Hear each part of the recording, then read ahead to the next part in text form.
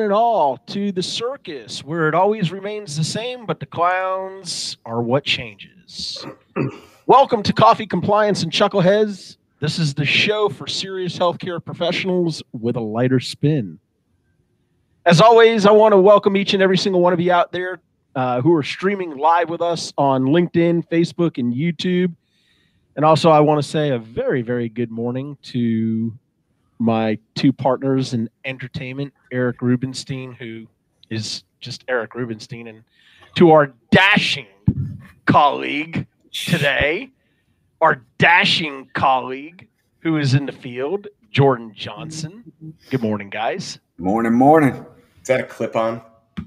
It is. It is. I love it, man. I want, I want me some like a clip-on tie, you know, all the stuff we made fun of when we were young, and now you like want that stuff. So no, absolutely. You almost That's look awesome. like you got. It almost looks like you got like those thin suspenders, like from the 1930s, like the Little Rascals. No, I, I think with it's that watch with that yeah. watch cap and your clip-on tie. It's look. Oh my God! Look, it's Spanky from the. Spanky. the I was just about to say.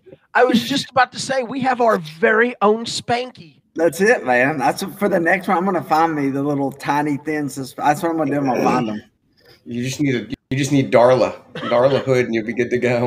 That's funny. That's I funny. It, so man. this morning, I know we haven't talked about it, but this morning in my cup, and I know, I know, uh, Eric has made comments about my um, my plain vanilla and saying that I need to get a little color into things. But uh, this morning, I am drinking my Peet's coffee this morning.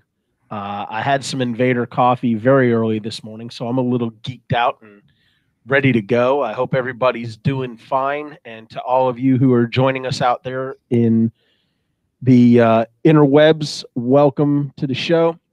Um, you know, today, if it's all right, I thought I'd kick us off a little bit different um, to kind of get us into a little bit of a roundtable discussion because I thought this was pretty interesting.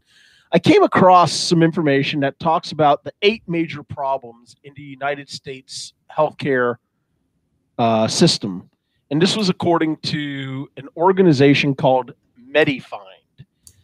And they basically research leading universities, uh, publish studies conducted by groups like the Commonwealth Fund, uh, Healthcare Quality Access, the HAQ, and others. And basically, according to this group, and to be honest with you, uh, I think they hit most of these square on the head.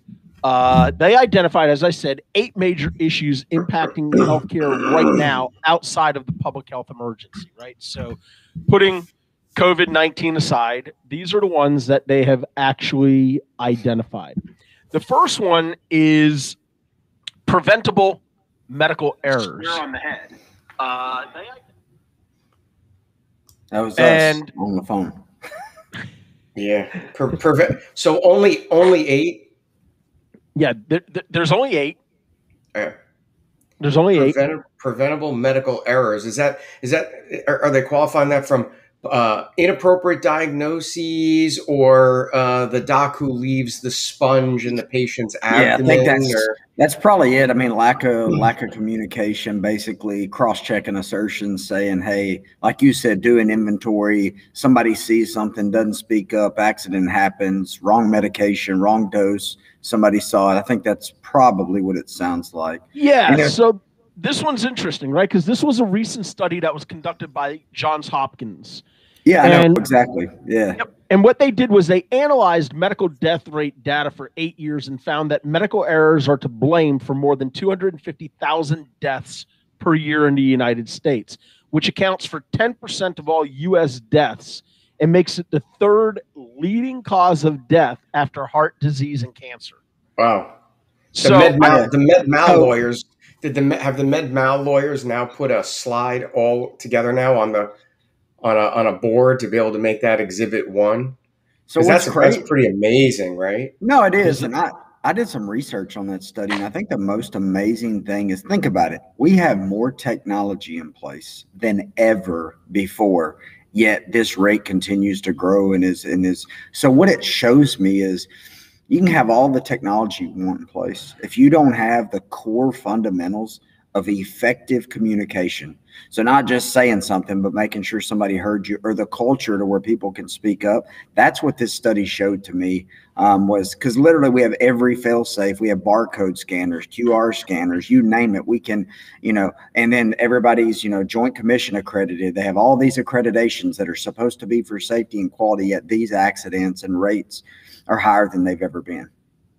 Well, what's amazing to me is the fact that the Sharpie pen has become one of the most important tools prior to surgery, right? To you go have surgery and they come over and the doc asks you, the nurse asks you, "What are you having done today?" You know, I had I had hernia surgery a few years ago. they come over and go, "What are you having today?" So I'm having hernia surgery. Oh, uh, uh, abdominal or inguinal? I'm having inguinal surgery because that's what the doctor told me. He says left or right, okay. And the nurse comes over and puts a check mark on my right side. Then the doctor comes over. What are you having done today? Well, gee, doc, I, I think you're doing an inguinal left or right. And then he takes that check mark, circles it, and then writes his name. Before you know it, you've had an entire episode of you know, uh, three cans of graffiti spray painted, you know, on top of you. Uh, for those of you that you know grew up in New York as I do, and you know graffiti on the trains and the Warriors, it was like having the Warriors come and tag on your because that by the time you're done, you've got big old. But it's amazing to me, right, that it's come down to the fact that the Sharpie pen has become one of the most important pieces of uh, of surgical equipment to make sure that you go home if you're supposed to go home with both kidneys you're going home with both. Or if your right kidney's supposed to be removed, it's not your left kidney that gets removed. Or and we and we laugh. I mean, we giggle a little bit, but this crap still happens, guys. Wrong amputation, wrong limb, wrong site surgeries. I mean, it's crazy that this. I mean, it sounds to to Eric's point. I mean, something as simple as a sharpie, but it, it's crazy. What do you guys yeah. think from a from a fraud waste abuse perspective? Some doctor does the wrong surgery and then outside of suing the doctor from the patient's perspective for medical malpractice, what are your thoughts on the the payer going back and trying to recoup from the doctor and the facility the cost of the procedure as a medically unnecessary service? I don't Absolutely. know if I've ever seen that. I don't know if I've ever seen that, but you know, theoretically, right, that you're you're getting that money back, and then and then someone's got to go and do the right surgery at some point or yeah. or you know or but i mean if you had a surgery that was the right surgery but there was another malpractice piece and then the patient suffers infections or needs follow-up surgeries and all of that now those those follow-up surgeries are clearly going to be medically unnecessary or you know a hospital acquired infection that results from poor poor management of the patient leaving in a a sponge or you know I mean these terrible things you hear. Yeah. Um, you know, could see you could see an insurer coming back and saying, "Hey, uh, we shouldn't have paid for this." Well, I would agree with you. I mean, think about it. You know, a surgical a surgical procedure was performed on a body area or organ system that was not required. So why should the insurer have to pay for it?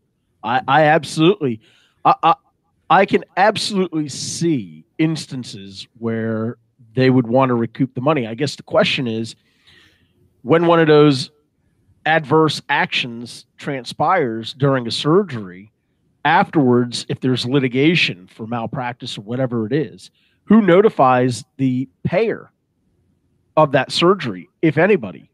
Because I'm guessing most of the insurance companies never find out that the wrong surgery was performed. Right. That's probably the issue. Now, quickly moving on, and I don't want to spend too much time on all this stuff, but I think this one's actually really interesting. They listed this as the number two major issue in the United States, and this is poor amenable mo- mortality rates. And what they mean by this is um, that I don't know if you guys are going to believe this or not, um, but the United States ranked last on the Healthcare Access and Quality Index, the HAQ, in amenable mortality among eight other comparable countries. So, eight other first world countries, right? The countries that we fell dead last to, and, and, and it's not even close in some of these cases the Netherlands, Australia, Sweden, Japan, Austria. The comparable country average was 93.7. Then you had Germany, France, the United Kingdom, and then at dead last of the first world countries was the United States. Wow. You know, well, not to make this a political discussion at all, but those are all countries. If we if we look at them, uh, all those countries, I presume, have some sort of national health care or socialized medicine. So, you know, you can argue about whether or not socialized medicine is good or bad and the taxes that come with it. Um, you know, I know that in Canada, for example, the, the tax rate is inordinately high because of the socialized medicine and you wait forever for things. But, you know, there's an interesting, um, there's an interesting documentary by Morgan Spurlock. If you remember him, he did 30 Days and Supersize Me. And yes. he does a very interesting documentary where he goes out to, it's either Saudi Arabia or uh, UAE. Uh, UAE or one of those countries, and he goes to a JCAHO certified hospital with all US board licensed physicians. And he goes for like three or five days or something like that. And he gets every oscopy you can imagine. I mean, he just gets the full soup to nuts physical test. He gets PET scans, endoscopies, colon. He gets everything. He's there for three or five days. Uh, nuclear cardiology, all of that. And it rings up a bill, and the bill is like, you know, I'm making up a number. It's something like three thousand or four thousand dollars, and he just goes all these things. And then he goes and he has somebody do an analysis on what the average cost would have been in the US for all of the exact same stuff.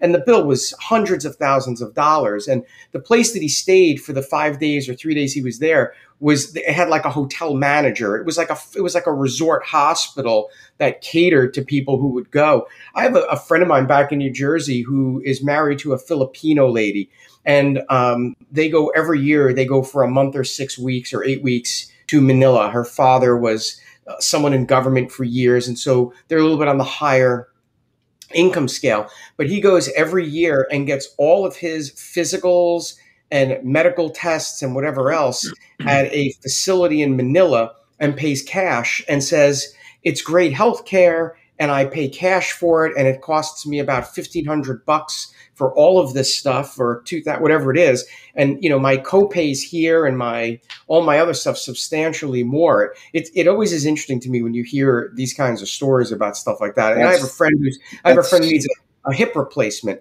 and the, she's walking with a limp like half handicapped like literally with a horrible limp.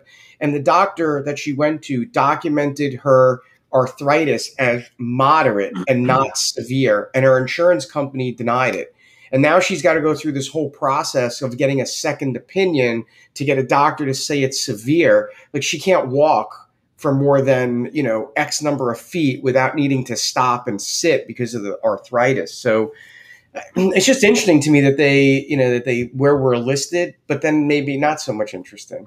Yeah. Go ahead, Jordan. What were you going to say? No, I mean that's the caveat, right? As we approach into this value-based care market that's getting exposed, right. is is the margins and the cost of uh, for these outcomes when people, you know, Mayo tried to do this, and Mayo does a lot of this where you can go in. Not that Rochester is a resort town, right? Um, um, up in Minnesota, but people will go in, spend three days, get all their tests, do everything inclusive. But again, the costs are absolutely incredible, and I think that's that's the balance. I mean, so much healthcare if it was tracked and trended, I feel like goes outside of the U.S. far more than we think goes outside the U.S. Well, to your point, number five on the list was high costs of care. And, and I'll come back to that. Eric, the number three was lack of transparency, right? And this ties to fraud and cover ups, which they claim are rampant in the U.S. healthcare system. I can't disagree with that. I think, as a former OIG uh, uh, enforcement officer, I think you would agree with that as well.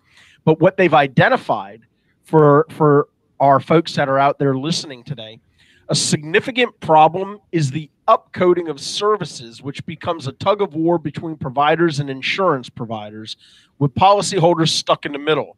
Providers upcode a procedure to get more money from insurance companies, but insurance may charge higher premiums to employers and tighten its belt when paying consumers.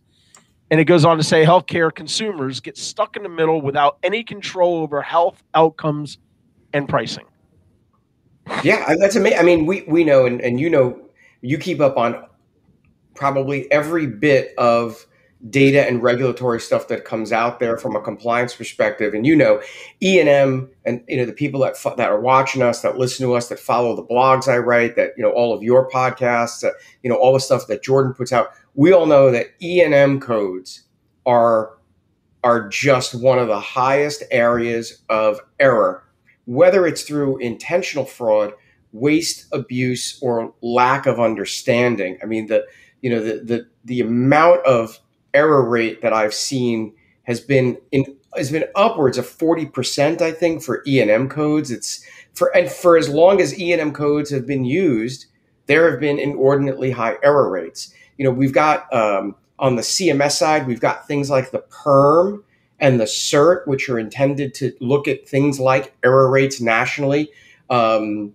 on whether it be the Medicare side or the Medicaid side. And you know the the the circulation of the 17 states a year on the Medicaid side on a three year cycle. And the fact that for as long as these audits have been done and these reviews have been done, that the error rates are as high as they are, uh, you know, it just what needs to change. I mean, obviously, CMS came out with the 2021 guidelines to help to loosen that up and make them less time based and make them more uh, patient centric. But you know, until there's a, a, tectonic overhaul and shift in the manner in which an office visit is billed. You know, I remember uh, years ago when I was an OIG agent in in New York, uh, I, there was a there was one payer, and I, I, can't remember the name of the payer specifically. It was one that that was a, a, a commercial payer uh, in New York. They had um, on their commercial side two codes that they billed that you're you could submit to one of two codes. It was like a nine nine two one one or a nine nine uh, 215 and they had a separate fee schedule.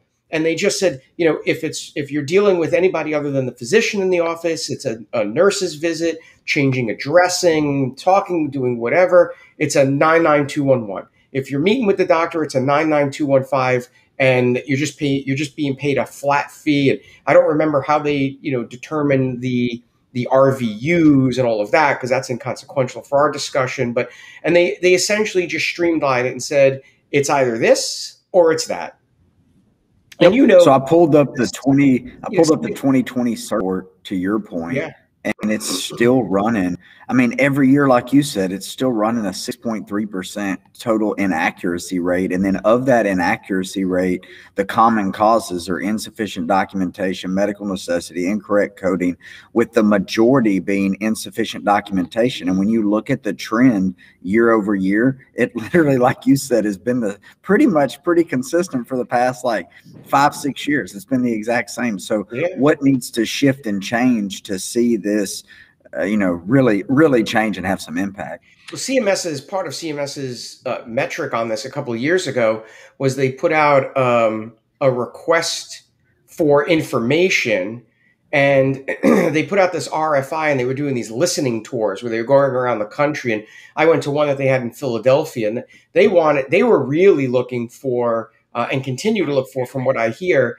some sort of AI platform that can sort of either recode or auto deny on the E and M side, um, right? Because it's because it's such a labor intensive. I mean, you know, uh, even a really good auditor uh, for E and M's can only do about four to six an hour if they're really good and they can read the documentation. Right. Um, you know, it takes about 15 minutes to do an E&M audit to really look and look at the medical decision making and all of that. Even the the best of the best of the auditors need 15 or 20 minutes to go through that medical record, particularly if it's handwritten and then you got to read the, you know, the the chicken scratch that they've got. So, uh, you know, it's it's we, we're we're we're we've created a beast of our own development, right? Oh, we absolutely have. There's no doubt. And you know, to your point, Eric, you were talking about you know healthcare in the UAE as an example, right? So just looking, just taking, and I think Jordan, you'll be fascinated with this as our numbers guy, right? So just one example, if we were to take a C-section, okay, just a C-section in the United States, the cost for a C-section is fifteen thousand dollars. 15,000. Okay. In the UAE, it's $4,400. In South Africa, it's $3,200. But let's let's go to other areas where people say, "Well, compare apples to apples." Okay. Um, in Australia, eight thousand four hundred dollars. In Switzerland, where I wouldn't mind having my health care provided, seven thousand five hundred.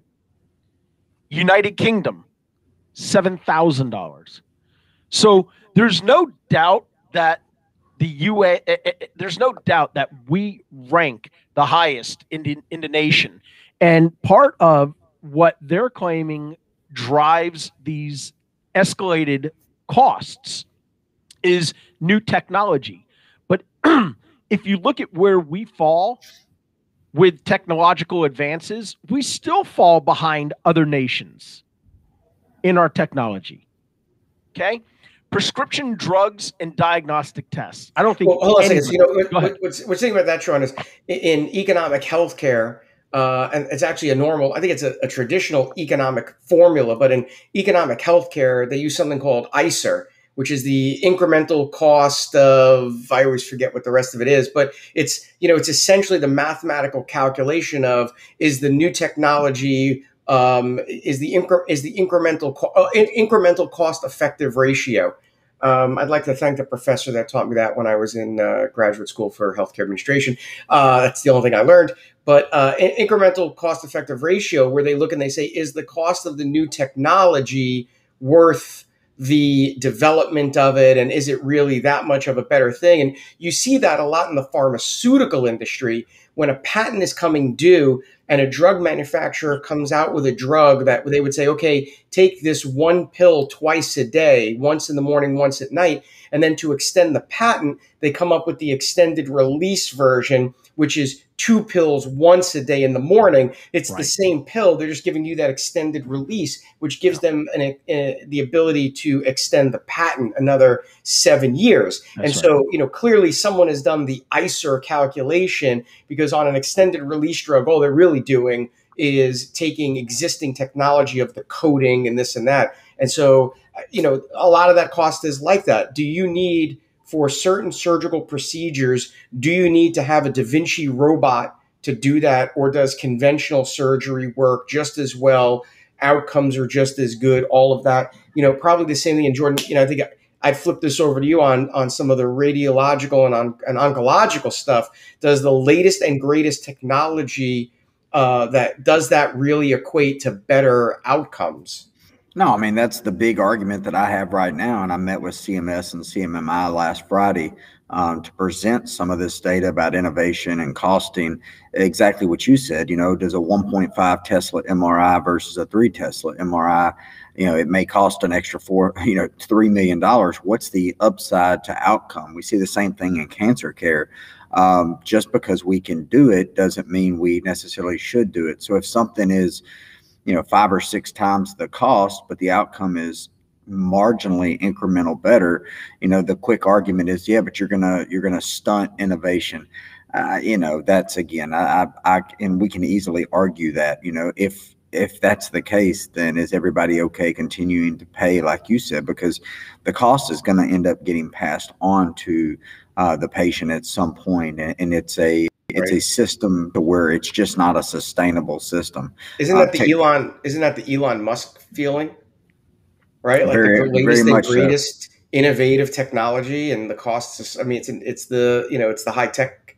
That's right. Sure. I mean, just because you can doesn't mean you should. If it's not affordable and the outcome's not better, I mean, it's great that we could do it, right? Um, I mean, it's great that you can fly up to the what the edge of space with what Bezos and all them are doing. But I mean, how many people are going to stand in line? That I mean, I, am not. I mean, so how many people are going. I don't know Jeff, Jeff Bezos. Jeff Bezos had that 18 year old kid whose daddy paid 28 million dollars to send him into space for three minutes. That 28 million dollars clearly meant nothing to that family. Yeah, you know, it, it's like they say, some people have more money than sense, but you know, we can we can get into these social, you know, these eco. Uh, you know, socioeconomic disparity conversations, and there's no doubt that you know the gaps continue to grow. Um, you know, is is there a scientific reason for us to be in outer space? Sure. Is there a military reason for us to be in outer space? Sure. But these, you know, it, it's like to me, I look at it as like, you know, the Disney World trip, right? Tomorrowland or whatever they call it. I mean, what, Star there it is, Star Wars. I mean, I don't know. I mean, again, I'm sure there's some folks who are, you know, uh, you know, outer space experts who can say, you know, these are all the reasons why, you know, we need space exploration, and and and I'm fine with that. I, I get it, but to create these commercialized trips just to spend three minutes in outer space, um, I, I just don't get it when we have so many other significant problems. Put the political crap aside. I'm not even talking about political problems.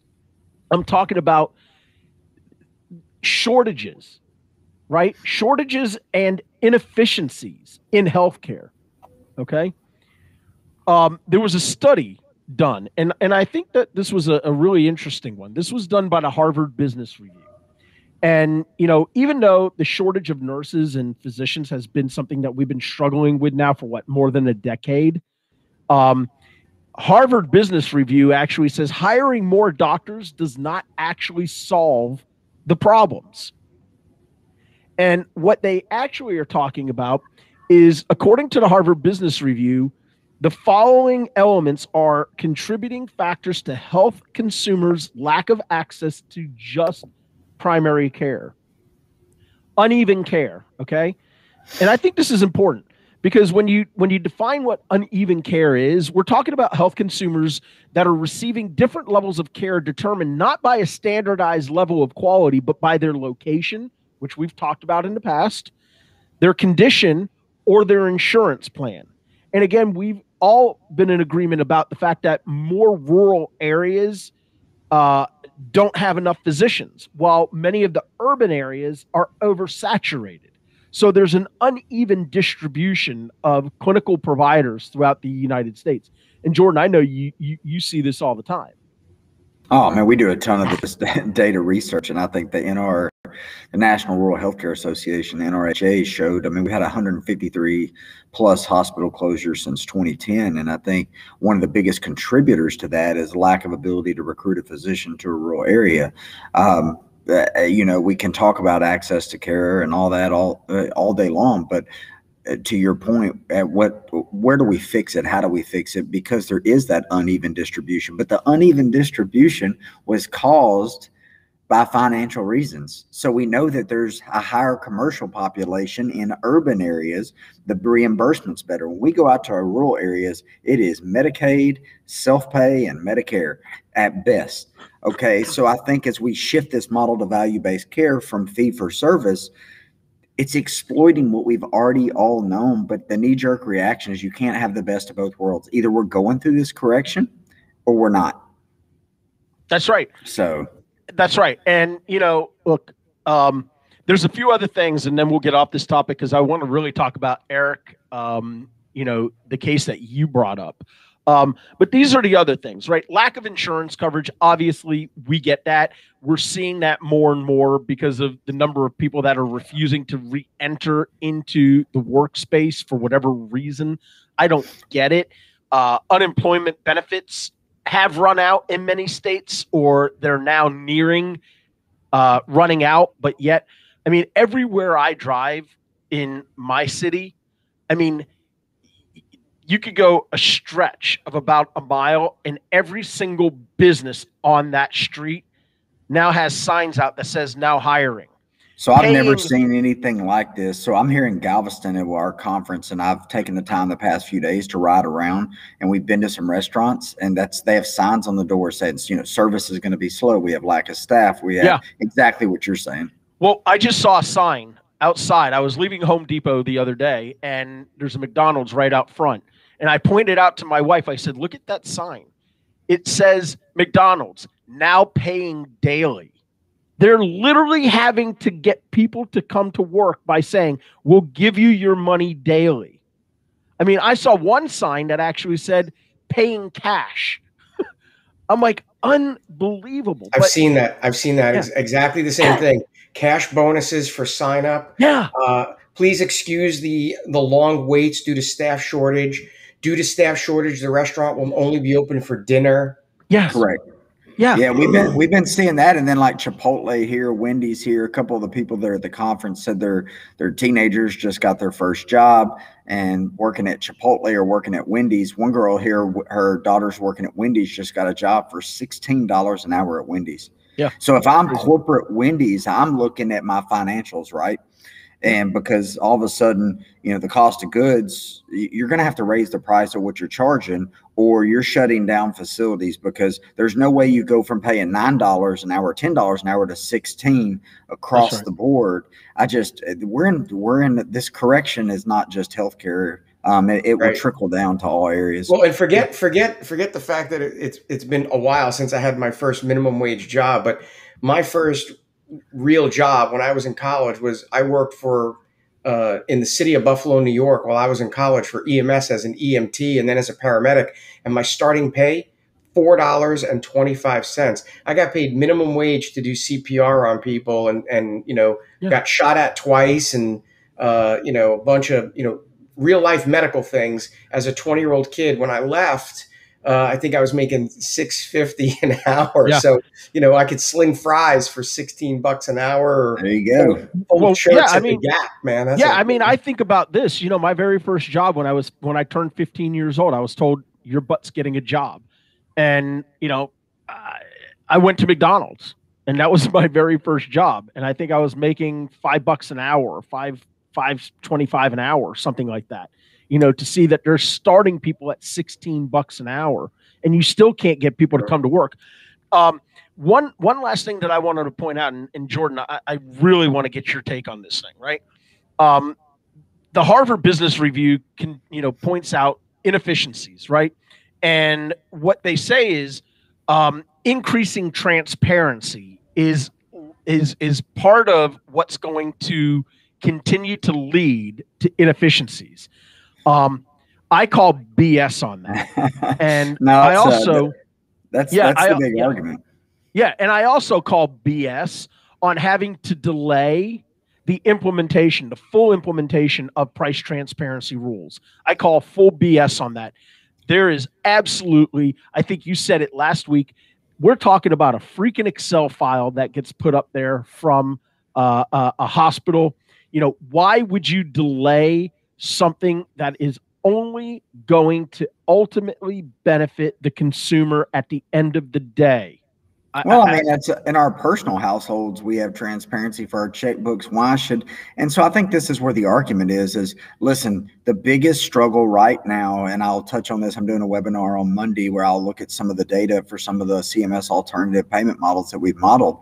The biggest knee jerk, why people don't want this transparency, um, is it does expose it exposes the correction that's needed. Well the only way the correction that can, is needed that can be fixed is is margin control meaning margins got to come down which means some of these big guys um, you know the vendors that haven't ha- taken any risk we've talked about this now they kind of get their uh, you know feet to the fire that they're going to have to make some tough business decisions. But we've already been making them all along. I mean we you know transparency in the hospitals you know we've we've done productivity we've decreased staff we've done all this. So to say that transparency um, you know is going to eh, make things harder or be more costly we've already identified that 25% of healthcare spend is waste and of that is administrative uh, burden and duplication. Well the reason it's there's so much duplication in the burden is we're not transparent. We don't know what all's being done. If we knew what all was being done, we could fix it. Meaning, you know, how many does everybody need a secretary? Can nobody make their own faxes anymore? I mean, there's all kinds of little stuff that we're looking at. It's like, guys, this is this is crazy. But you know, there's vested interest for a lot of people to not be transparent, uh, and I think that's what you see, right? The lobbyist. Um, you know the top what 15 lobbyists out of the top 20 are all pharmaceuticals so when they don't want it and i uh, you know again you can't we can't talk about fixing the problem and not fix the problem that's right and you know don don cope um, you know who you know posted a comment i agree you know and jordan has said this a number of times you know it's all about the legacy right you know, what do you want your legacy to be? Who knows? Maybe in a future episode, maybe Eric Jordan and I each announce our candidacy for the U.S. House of Representatives or the Senate to represent Mississippi, Georgia, and Florida or New Jersey. I, I got to tell you, man, you know, say what you want about somebody, you know, who we're not going to mention, but, you know, somebody's got to get into DC and and and they've got to expose the frauds that are taking place there and and I mean, this is just, primarily why I left hospital administration, right? I was in yes. administration. You can see every problem, and That's they right. give you every reason and roadblock to not fix the problem. That's right. That's right. All right, Eric. Let's talk about let's talk about your case because you brought up you brought up uh, a really interesting case and is somehow tied into an investigation that uh, you our award winning counterpart uh, was involved in. And it was actually a really interesting case that engaged with the Internal Revenue Service, the Federal Bureau of Investigation, and the Office of Inspector General. So talk talk about that case, man. Yeah, so you know, I think the the good prelude is that there was a superseding indictment that just came out. I'm just flipping uh, the press release on for a second so I could look at the dating. August 10th, press release came out on a superseding indictment that occurred in the District of New Jersey, uh, again, on one of these telemarketing frauds. Um, so the spinoff cases since Operation Brace Yourself, which is now uh, probably close to a year and a half or two years in, uh, is, is, you know all these prosecutions are continuing. People are pleading, and I, I think the the piece of the puzzle that that a lot of uh, people that read the press releases don't always understand is they see that there's 20 agencies involved and people sometimes wonder you know like why is the oig involved with and then there's a, a slew of other agencies like why is it the oig the fbi dcis defense criminal investigative service or dodig why, the irs why are these state local? And and the, the, the real reason is that different agencies are the primary investigators of different things right? So the irs is the only agency that can investigate and recommend for prosecution tax related matters. The FBI does not have that jurisdiction. It's written in statute. The IRS specifically has that. The FBI has um, is not the only agency with the broadest investigative authority. People think that they are, but uh, the marshals have very broad investigative authority. The U.S. postal inspectors have very broad investigative authority, and you know anything can be charged. Almost anything can be charged as a mail fraud or a wire fraud, which would be something that the Postal Inspection Service does. So it's not uncommon to see this this multi-agency uh, you know grouping, particularly when you're dealing with a case that has uh, a lot of people and a lot of money. One agency just sometimes can't handle it by themselves because it's a resource management issue. It's not from a lack of necessarily a jurisdictional ability. It's it's resource related. And so the the the press release that was put out there, it's two hundred and fifty million dollars in telemarketing fraud. The um, the owner of the company was indicted on a what they call a superseding indictment. It looks like two of his co-defendants have already pleaded guilty. For people that don't understand what a superseding indictment is, it means that the uh, the defendant in the case has already been indicted by a grand jury um, which is really nothing more than an allegation based upon probable cause to believe that something occurred. And a superseding indictment is that the government continued its investigation. The defendant in this case uh, did not plead guilty. They've uh, they've chosen to plead not guilty and are currently exercising their uh, constitutional Fifth and Sixth Amendment rights. And so, as a result of doing that, um, the government continues its investigation and in continuing its investigation uncovers new or more granular evidence on the previous indictment and in order to charge additional things or new things, you have to present a brand new charging instrument, which is the indictment. For those of you that are watching this, if you're lawyers and I got this wrong, please correct me. Um, but you know, generally that's the that's the the way it works. So in this case, this guy got uh, re-indicted essentially. Um, and uh, and that reindictment, you know, included some additional things, but the IRS is involved. And the piece about the IRS that makes it interesting is that in, in a lot of cases, the IRS does not get involved because um, the dollar amounts aren't necessarily substantial enough. So sometimes in kickback cases, you know, the, the IRS's involvement is what would the tax liability be on the value of the kickback that was paid? And is it something that rises to the level of criminal? Or does it rise up to what they call just a revenue issue, where you have a revenue agent who's doing a recalculation of tax? And, and oftentimes in, in kickback cases, the U.S. Attorney's Office in the plea agreement will put a clause in the plea agreement that will require that the defendant uh, w- uh, amend their tax returns to reflect the appropriate liability. Because even though a kickback is an illegal remuneration, uh, you still need, oddly enough, you still need to report it on your tax return as income, uh, although no one does, obviously. I mean, it's cash, you know, or, or kind. And so what you oftentimes will have is if someone got fifty or sixty thousand dollars in kickbacks in cash, the liability for that fifty or sixty thousand dollars may not is not going to be 50 or 60,000 because you're actually paying tax based upon the effective rate of what you should have paid. And so oftentimes um, for the IRS criminal investigations uh, side, they need to have, by the way, special approvals when they work cases. They can't just go and open up the case. There has to be approval through what's called DOJ tax, and the case has to be approved. They have to get what's called an expanded grand jury because taxpayer information is not treated the same way.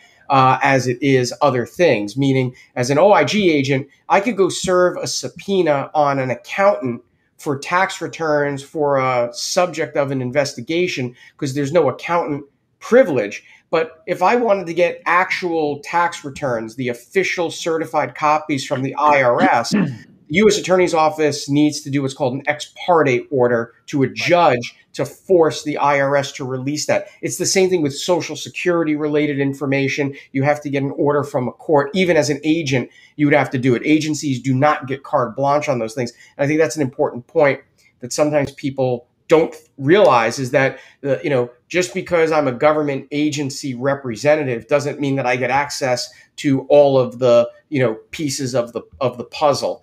Um, and so IRS will typically get involved when there's obviously large sums of money. $250 million and the fact that there were shell companies overseas and, and the like will, will, will make that. And then obviously if there's false filings on returns. So I, I worked a number of cases that involved kickbacks uh, in which shell companies were, were created and, and uh, money was being passed on through, we used to call them back in the day, you typically see with MRI centers, you see it now with a lot of the strike force cities, particularly in Brooklyn, the, the doc in the box scheme where the doctor is really the nominee owner.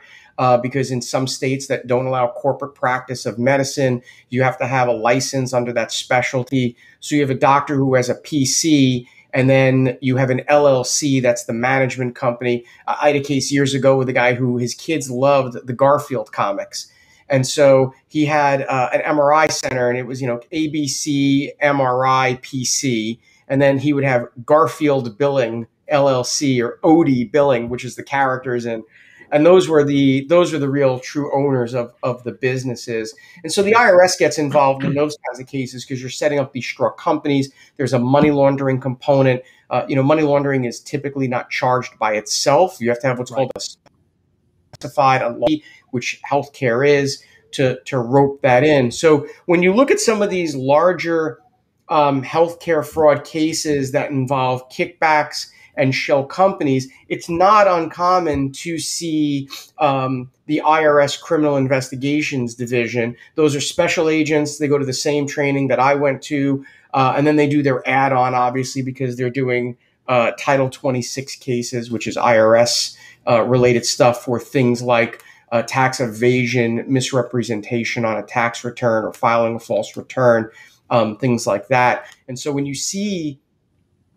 uh, when you see a press release in which you see the IRS is involved, uh, there's typically some large dollar amount. There's some nuanced part of the case uh, in which the IRS had some interest in. They're a very small agency. They're bigger than than the HHS OIG as far as investigators and agents, um, but they they spent a lot of time working on uh, task forces involving money laundering, obviously, uh, a lot of things involving what they call money mules, which are people that are transporting money uh, in and out, which you know gets to this case that I worked uh, that involved a guy who had a, a previous conviction uh, under state Medicaid. He was a New Jersey Medicaid provider, owned an ambulette company. Uh, he was prosecuted by the Medicaid Fraud Control Unit uh, for this Medicaid fraud, went and did some uh, prison time for pumping up uh, mileage bills and tra- not transporting people and, and, things of that sort, and was excluded. Gets out of jail and uh, oh, buys a, an ambulance company and puts it in his brother's name.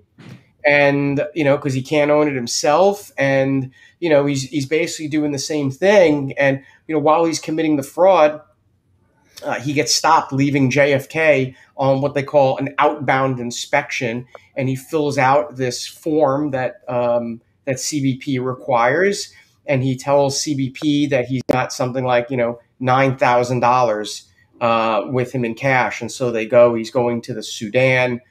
Uh, they say, let's open up your bags. Let's do a search. He's got about 110 or 115 thousand dollars in different places hidden and you know his excuses or his story is that there was a flood in the Sudan, and I'm bringing this money. It's not just for me; it's for my family and my friends' families, and you know whatever. It's and it's a you know it's over a hundred grand, and you know when it's a very long, convoluted investigation, we'll put it up uh, when we put up the link so you can see you know the story. But you know the end result was that. Uh, he was running this ambulance company. He claimed to only make ten or twelve thousand dollars as a dispatcher.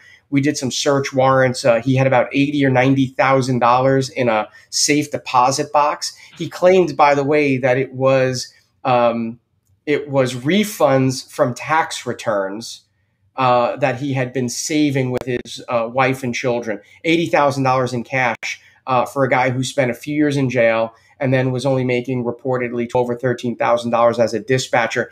He actually had filed returns where he actually was getting back more money in his tax return from his child credits than he paid in taxes in a particular year. But he had 80 grand in these, uh, you know, in this, in his, in his safe deposit box. He went to trial actually. And, um, you know, a lot of things came out about the way the fraud was perpetuated. Uh, he was, he was directing the EMTs to put three and four people in the ambulance. Um, we actually had an EMT that was cooperating and uh, our EMT that was cooperating at one point was wearing uh, a, a, recording device, a video recording device. And at one point, he sat in the ambulance and he was wearing uh, a covert device, and he just was sort of like looking around. And the the ambulance was just it was full of people. It was almost like a clown car. There must have been four or five people in the ambulance, and he had to write up call sheets for each one of them. And he said you know, look, I'm not going to lie on these call sheets. And so the call sheets all had this, it was the same truck number and the same time on them. And so at one point we had all of these reports that he gave us. And, uh, you know, we do a search warrant, we get the reports, and, you know, it had like, you know, Sean Weiss, 10 a.m., Jordan Johnson, 10 a.m., Eric Rubenstein, 10 a.m. And they were, and they were all from the same, um, they were all from the same party bus truck. Oh, yeah, it was like a clown car. That's it, was, it was a clown car. But, you know, he went to trial. Um, interestingly enough, his defense attorney was a criminal defense attorney who focused on tax and really didn't know health care and really didn't know uh, you know any of these things and um, uh, the, the you know the trial went about four or five days. I, I, had really good prosecutors. It was me, an FBI agent, and an IRS agent. Um, and what we did was the FBI agent was the was the trial case agent. So he sat at counsel table, and myself and the IRS agent would sit back at the U.S. Attorney's office, and as things were unfolding during the trial, testimony and cross examination and arguments, they would text or email us. Uh, the case agent would, the FBI agent, myself, and the IRS agent, and we had a paralegal that was held back. And so, real time, we're doing things. And like you know, literally one day while on the stand, um, some witness talked about how they were bringing the ambulances to a garage for repairs and they never ever got a bill for the repairs or anything like that. And one of the things that we learned was that one of the side deals that the owner of the garage had was because this the bad guy was on parole and needed to show that he had employment and the employment couldn't be at the ambulance company he had the owner of the garage put him on the payroll and what he was doing was he was paying for the repairs in cash and paying more than he should have been paying for the repairs and then the owner of the garage was laundering that money in the form of a paycheck as payroll as if the guy worked at the garage Unbelievable. And during the trial, it came out. And this wasn't really something that we knew. I forget how. I forget why we didn't. Oh, it was a bank account that we didn't know existed. There was something that didn't show up because there was no W two. Like it wasn't reported. But the guy needed to show his parole officer that he had this employment, and you know, we just we didn't know about it. But during the trial, we learned about it. And so while this is going on, like literally a witness from the ambulance company who coordinated bringing the trucks for repairs is explaining this but doesn't know anything about the financial piece just knows hey we would bring the ambulances to this garage i never got an invoice it was always my responsibility to do it and like real time myself and the irs agent go out we find the guy who owns the garage like there's a witness on the stand talking about it and we're driving from newark to passaic which was very close. And we find this guy and we're interviewing him probably within an hour and a half of the testimony having been made. And you know the irs agent was able to ask like all of the questions that i would have never understood like how are you tracking this in your books and records? You're getting the cash. You're writing this guy a check. Are you taking this as an employee deduction? Like some of the questions i would have understood a lot of them you know not so much but you know it just goes to show you that you know you've got to have the right people working with you on investigations. And yep. i say that even now in the world right with you guys we the yep. right people have to get involved in in something that you're doing from a fraud-based compliance legal litigation data piece. You know you don't you don't bring in the wrong people to do the right job. You got to have the right people. That's one thing that i that i took away from my oig time was you know you've got to have the right people who understand the questions to ask and understand the things that they're looking at at the time to know. You you can't have a tax lawyer defending you in a criminal healthcare matter. That's right. You, you and, and this and, and this leads me this leads me into something that we always discuss right? You know which is the importance of having policies and, and, and procedures in place right? And if you don't have proper policies and procedures in place at the end of the day, they're useless because it doesn't matter who you have defending you. There's no defense. It's inexcusable, right? Because, you know, somebody like yourself may look at this as a former investigator and say, okay, great. So you tried to pull the wool over the eyes of the Office of Inspector General because you have this thousand page corporate compliance program, but you really have not established a culture of compliance.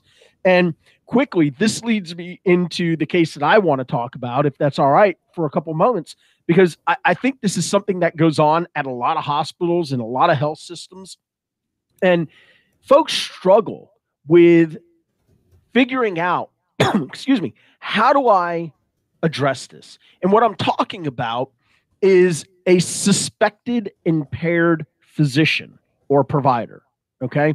So there was a case uh, that was recently handed down by the Indiana Court of Appeals, uh, whereby they upheld a lower court's uh, award by the jury of $4.75 million. So, real quick, here's what happened. This female physician who's an OBGYN was on call during a weekend. She had patients that were being seen in the hospital who were expected to deliver that weekend. Okay. For whatever reason, the charge nurse opted to engage another physician who just happened to be in the hospital to check, you know, the diameters, to check how far along, you know, the patient was uh, as far as crowning. And, you know, what I'm sure if I'm using the wrong terms, I'll hear it from my wife. Um, but um, long story short, what happened was the charge nurse wound up finally um, um, no, I'm sorry. What happened was the doctor who was asked to engage in these patients' care said, wait a minute, Dr. So and so is actually on call this weekend. Why aren't you engaging with her? So this doctor reached out to the on call physician. The doctor came into the hospital who was on call, and apparently, according to uh, the you know to to all the documents that were filed, basically ripped into the charge nurse and said, I'm on call. These are my patients. Why wasn't I notified? Well, apparently it was quite the tongue lashing. Okay. And the charge nurse who was employed by the hospital 12 hours after engaging with this physician reported that she smelled alcohol on the breath of the physician. Okay. Well, the, interesting question that some of you are maybe wondering who are sitting out there listening to us is why did she wait 12 hours?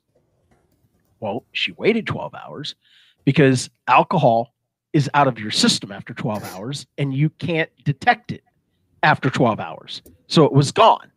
Now, this charge nurse went on and basically said that you know the doctor was extremely angry with us on and on and on um, the doctor then left the hospital but the charge nurse testified that she saw nothing unusual or concerning while the physician was examining the patients um, but here's where the whole story kind of falls apart none of the other nurses who were at the desk who were face to face with the physician in the same proximity of the physician that the charge nurse was indicated that they had smelled alcohol on the breath of this physician.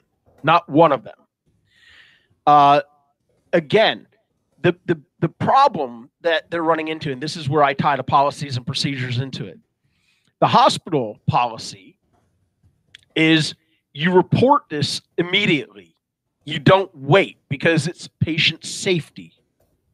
Okay? Well, this individual knew because this is a charge nurse. We're not talking about just your medical assistant or your nursing tech or an RN who's a floater, who's, you know, PRN or whatever, who may not be fully understanding the policies of, the hospital. We're talking about the charge nurse who has to know what the policies are. Has to. Okay. And if he or she doesn't, then the hospital has to be held accountable. The compliance officer has to be accountable for failing in their fiduciary responsibilities to ensure that the staff are properly trained, educated, and that people are complying with the policies. Well, long story short, what happened here, and folks, please listen to me. This is where a lot of folks get confused. Jordan, you're a former hospital administrator. I was a hospital administrator for a period of time against my will you know, Eric, you're you're a former investigator for OIG. This is where it becomes so important. You have to know what issues should be sent to human resources versus which issues should have been handled as a peer to peer review. And the long story short, the hospital told the doctor that um, ultimately the medical group placed the provider on paid administrative leave but listen to this they required her to submit to an assessment by the state medical association the assessment led to a request for a third party evaluation, six weeks of inpatient treatment, and the medical association's rigorous five year alcohol monitoring program, which required random testing and ongoing counseling. The doctor who was accused submitted to this because she was told by the hospital and the physician group that this was a peer review screening. But there was no formal peer review, it went to human resources. And the hospital um, the hospital and medical group filed unsuccessful motions for summary judgment prior to trial and judgment on the evidence during trial because they didn't want it released. But thank goodness there were judges that were smart enough because the trial court and the court of appeals determined that whether the hospital acted without justification as an element of tortious interference with an employment relationship was a question of fact for the jury. smart enough to put it into jury's hands. They held that the jury was free to weigh the facts to evaluate justification or lack thereof based on the report not being timely made and that the doctor had not been tested per hospital protocols and that consequently consequently the doctor was not offered an opportunity to clear her name i mean you know i could go on and on and on and on about this whole thing but for me i think the takeaway message on this is guys if you have policies and procedures that are nothing more than a paperweight sitting on a shelf or living in your electronic system, they're garbage. Yep. Eric, what say you, brother? You know, I'll tell you, whenever we would work on a case and we would have whatever the allegation is, you would look at that allegation and it could on its face, oh my God, this is a violation. This is a this is a healthcare fraud it meets this definition, it meets this definition, it meets this definition.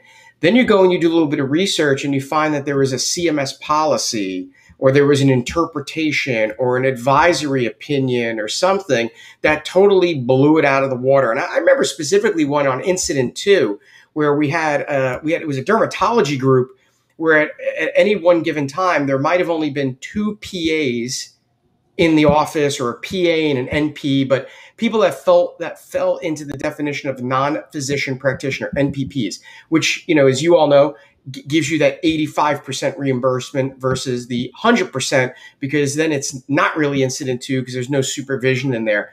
And, and we were and they were billing it out at 100% and we were like oh my god this wasn't going to be a criminal case obviously. Service was being rendered. We were like oh my god we this is you know we, we got this. This is clearly a violation. And somebody at one point, and, and I don't know if the rule has changed because I haven't looked for years, but at some point I came across a document or we spoke to somebody at CMS where there was this loophole that essentially said one non physician practitioner could be designated to supervise another non physician practitioner, and that there was potentially this carve out on the incident to with respect to this 85% billing. And I may have gotten some of these facts wrong because it was 20 years ago, and there may be some other pieces to the puzzle. But essentially, in the facts that were presented to us with respect to the way that this practice was operating, CMS did not back us on what looked like an otherwise clear violation of the incident to rule. And the CMS's incident to people said, oh, no, no, there's this carve out. And under these conditions, it can be done. Now, I don't think that the practice was sophisticated enough to fully know that this is the path that they were taking. It just so happened that by the luck of throwing enough spaghetti on the wall, they managed to get a few strands to stick that would have met what that carve out requirement was. But, you know, if you're going to have a policy or a procedure in place and it's just sitting there and you're not going to enforce it, you've got to have policies and procedures that are A, enforceable, uh, B, clear and concise, uh, and three, disseminate it to everybody so that it's made available and they can understand it and say, oh, well, I didn't really understand what this rule was. Uh, you know, and those are, I think, where, where those compliance pitfalls uh, you know, come in constantly. No, and that's what we had talked about. I mean, I think that's the thing. Um, as fast as all this is changing, like you said, is and I remember as an administrator, everybody it's the policy of the week, right? But who's really reading the policy? Do they really understand it? How's it applicable, or is it just a checkbox? Um, and I think that's the that's the disconnect that I see that that a lot of people make when they develop these plans is it's just another checkbox. Yeah. You know, it was really interesting. The other day, I had a client say to me when, you know, I presented them with their corporate compliance program that I drafted for the organization, which was completely scaled down. The individual said to me, You've got to be kidding me. This is, there's no way I could comply with this. There's no way our organization can comply with this. This is, this is not for a solo physician's practice or small physician group. This is for a hospital. And I said, no, actually, this comes from the OIG guidance document from 2000 for physicians in small group or solo practice. And he was just like, you've got to be kidding me. How do I handle this? And, you know, you know, my biggest fear, you know, as I said to him was, look, if you all aren't going to administer this, if you're not going to comply with it, if you're not going to live by what's been drafted in here, obviously we can work on this a little bit more. We could scale it back a little bit more, but there's not much room to be able to go with this. If you're not, your best bet is to not go at all with a compliance program. Roll the dice so that if somebody comes in on an investigation, you can say, we don't have policies or procedures because it was too complicated for us to be able to understand. We're trying to make the best effort that we can to act in good faith, to do things the right way. Now, the investigator may look at you and say, you're full of crap and you know they, they may take this thing to the umpteenth level or you may wind up finding yourself getting pushed into a corporate integrity agreement as part of a, a, a, settlement agreement or something like that but the point is at the end of the day i think the three of us all agree on this you've got to have effective policies and procedures you have to adhere to them you have to educate your staff on them and if you're not you don't have policies and procedures isn't so, it a little bit like a little pregnant? I mean, if you come up with a half a, if you come up with a half a policy, right? So you come up with a compliance plan, and that compliance plan is only half of a plan. There's there's an argument to make, at least from a criminal side. There's an argument to make that you intended to leave this off because you clearly relied upon because when you're putting your policy together you're going to probably put in some language that says that this policy in part relies upon guidance from the oig's model compliance guidance found on blah blah blah accessed on blah blah blah date and so you know an investigator i'm looking at that i'm looking at your policy and i'm going to say well, let's see what that what's that guidance that you're relying upon say and you go hold on a minute there's this whole thing about self audits it's written right here. It's not in your policy. Did you leave that out intentionally? And so you're trying to say, you know, like I'm, I, I'm only a little pregnant, or my ignorance from a criminal perspective. You've got an argument. You've now got to fight about. Well, you intended to leave this out, yeah. um, and then you know, well, let's go talk to your compliance officer about what they did and how they yeah. came up with this.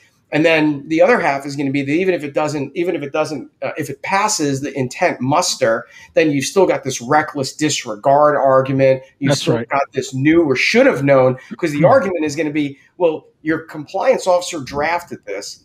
They gave you a document that had a reference and a citation to where they're coming up with this policy. You could have accessed this, so you knew or you should have known that pieces of this were missing it's a very very slippery slope, right? I mean, if yeah. people don't want to take advantage of what a compliance officer's role is, um, yeah, you know, you're putting yourself at, at you know at peril on that. Absolutely. All right, we are running up against our time limits here, so let's move into the Chucklehead of the Week award. Where are the drumsticks? There they are. All right, so the Chucklehead of the Week goes to um, an organization, again, we'll post it because I never like to say their names, but this organization and its physician practice group, as well as the chair of its Department of Cardiothoracic Surgery, who violated the False Claims Act.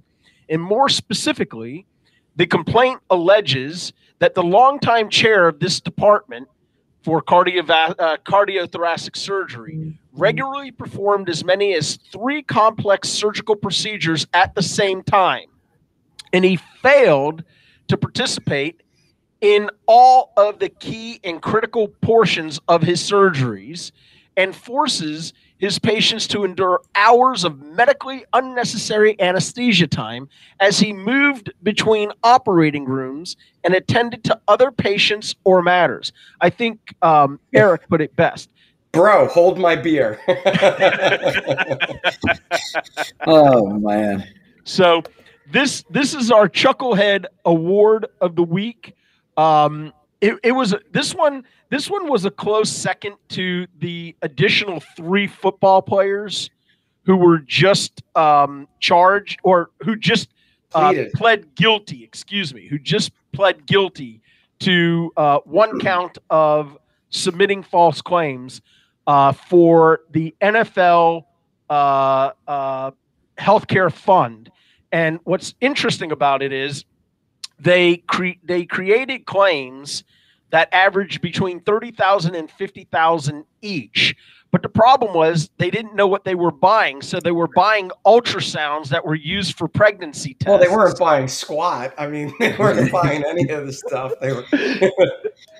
I'm like, they, they man, bought. Stick, they, stick they bought Yeah. So uh, all right. invoices, yeah, invoices for the ultrasound. And you know, the crazy part is that one of those three guys, I was reading that article, he, he played football for nine seasons and made almost yep. fifty million dollars. Yeah, Portis filed for Portis. bankruptcy. That's it. That's it. All right, folks. This brings us to the conclusion of episode eleven of Coffee Compliance and Chuckleheads. As always, we want to say thank you so much for tuning in and spending your morning with us. Uh, we will be back again next week on behalf of Jordan Johnson, who's down in Galveston, Texas, my good friend Eric Rubenstein, who I believe you're up in New Jersey. Uh, I'm in Orlando. Being oh, you're in Orlando next week. Next yeah, week. I'm like I'm like Joe Rogan without the COVID. I'm on tour. Ah. and then on behalf of myself, Sean Weiss, we want to say thank you again for joining us on Coffee Compliance and Chuckleheads. We'll see you next week. In the meantime, be good to yourself, but more importantly, be good to each other. We'll try to do better next week. Take care.